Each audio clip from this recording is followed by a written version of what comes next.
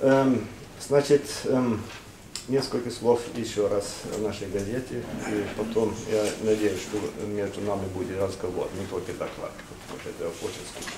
Но э, сначала несколько цифр, несколько слов. Значит, газета называется «Автопостом», как я уже сказал. У нас, э, у нас до сих пор две издания э, ежедневно. Или три раза в неделю. Это э, утренняя газета, это вечерняя газета. Но с 1 января э, э, вот эта вечерняя газета будет приложиться э, к утренней газете. Это новое явление. Утренняя газета это как общая газета. Я вам покажу, что там э, э, содержание. Содержание вечерней газеты это более местное, Осло и вокруг Осло. Значит, это э, локальная газета. Э, тираж падает, к сожалению. Но это обычное явление во всех странах. Но я так считаю, что падает очень медленно, очень медленно падает. Значит, и до сих пор у нас есть э, тираж э, 240 тысяч. Это довольно большая, это самая крупная газета в Норвегии сейчас. Раньше было и сейчас есть. Э, Сегодняшняя газета это типичная э, газета для буднях, как мы говорим. Значит, э, трех разделах. Первый раздел это, как вы видите, это новости, э, домашние, значит, норвежские новости, общие новости,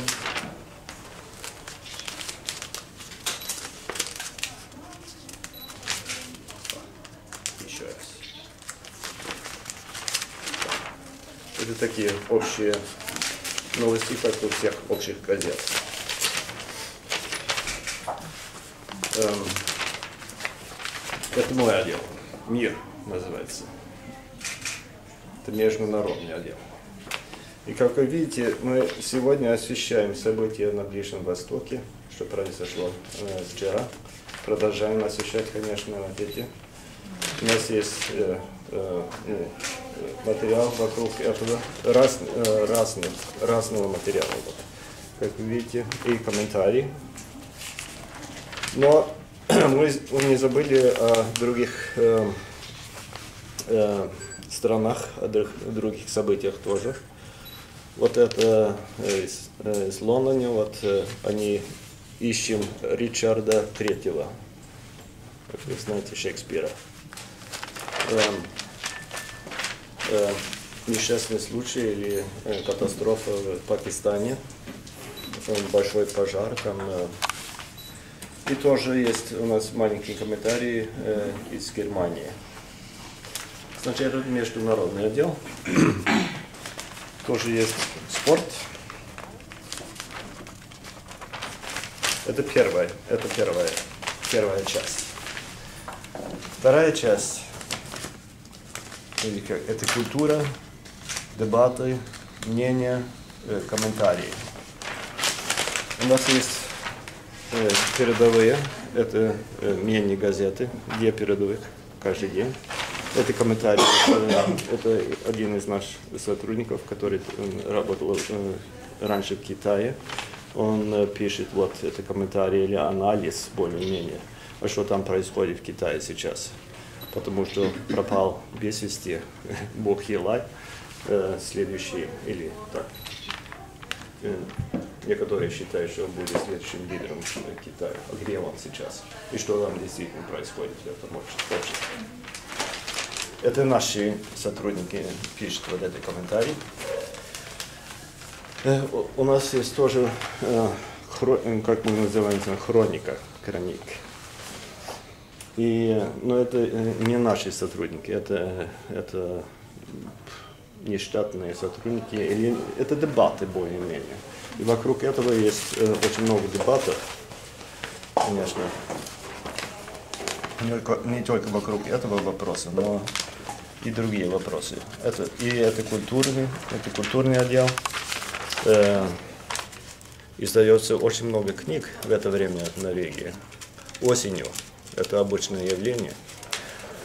И э, вокруг этого есть э, интервью с э, писателями, есть рецензии и так далее, и так далее. Это тоже очень важная страница, кстати. Вы сами понимаете, что, о чем идет речь. А это реклама некрологов? Это некрология, да. Нет, это не реклама. Это, это реклама, да. Это тоже, тоже очень печальная страница, конечно, потому что мы потеряем читателей каждый. Но я вам покажу одну э, очень интересную страницу. Это, мало... это только молодежь пишет на этой странице. Это молодежь это означает э, э, ну, с 13 до э, 18 лет. У них специальная э, страница. Когда мы начали э, выпускать, или был очень э, большой спор вокруг этого, потому что молодежь, э, все считают, что молодежь, это они э, не хотят читать газеты, ну, бумажные газеты, как это сейчас называется на Торежском, бумажные газеты, потому что у нас э, у них интернет, они мо- могут выпускать что угодно. Но оказалось, что это был очень большой успех. Э, Я не знаю э, ну, психологии вокруг этого, но э, дело в том, что молодежь хотят, или молодые люди хотят видеть э, свои выступления именно на, на бумаге. Это более престижно. У нас, э, кстати, тоже есть сайт, где мы можем продолжать этот разговор, но особенно, э, да, и это э, я- является очень большим успехом.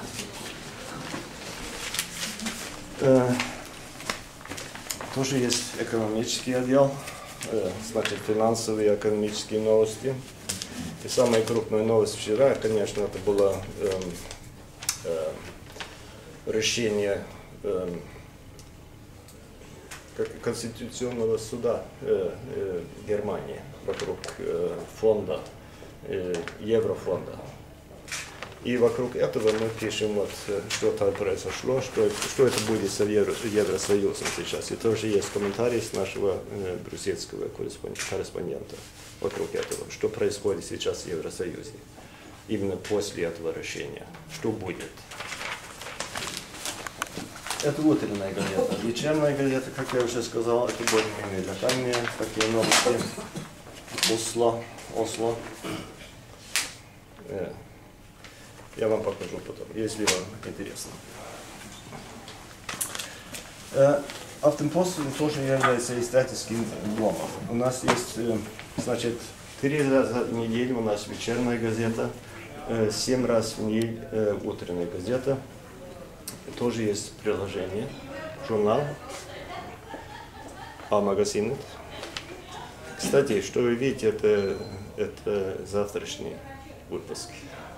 Вы сами, это вы, вы первыми видите вот это. 14 сентября, сегодня сколько 13, уже готов.